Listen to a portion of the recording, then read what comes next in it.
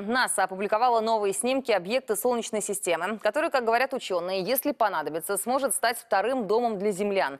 Спутник Сатурна Энцелада считается наиболее пригодным местом для жизни. Зонд Кассини впервые снял его северный полюс в летнее время, когда он ярко освещен Солнцем.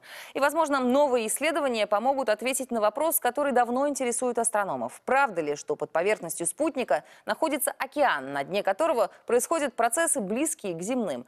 Выяснить это, возможно, удастся уже в ближайшее время, 28 октября, когда зонд Кассини приблизится к поверхности Энцелады на рекордное расстояние, примерно 50 километров.